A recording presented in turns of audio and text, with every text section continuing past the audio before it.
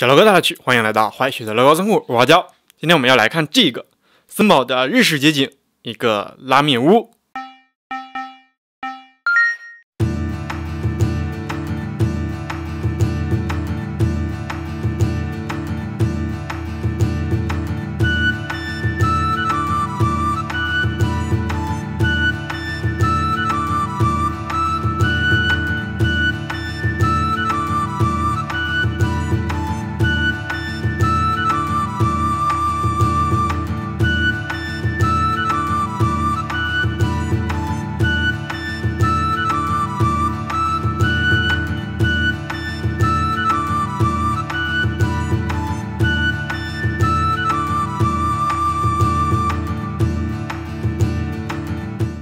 好了，这个日式街景拉面屋我们就完成了。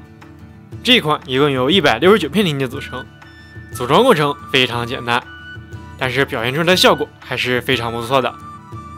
这里面一共包含两个人在，一个是顾客，身上穿着和服；另一个是老板，身上的图案印刷也不错。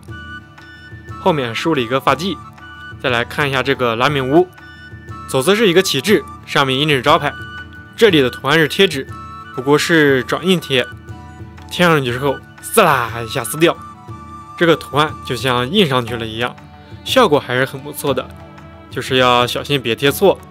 右侧是一个小灯笼，两面是玻璃窗，通透性很好，里面还有两碗拉面，这个锅做的非常形象，上面这一块布是单独包装的，所以不用担心会压出褶皱。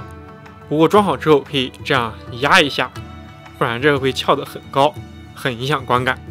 还有一点，拿的时候尽量拿两边，不要只提着顶棚，因为这边只有两个凸点固定。别问我怎么知道的，都是泪。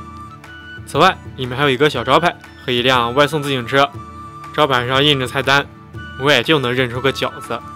你们知道这个菜单上都有什么吗？这是森宝日式街景其中的一款，其余的都印在盒子背面。这边还做了一个小剧场。那么今天的这个拉米屋你喜欢吗？或者你喜欢另外哪一个呢？可以留言告诉我们，我们说不定就会提前做出来哦。那么本期视频就到这里了。如果你喜欢这期视频的话，别忘了关注、点赞、分享。这里是坏雪的乐高仓库，我是花椒，我们下次再见，拜拜。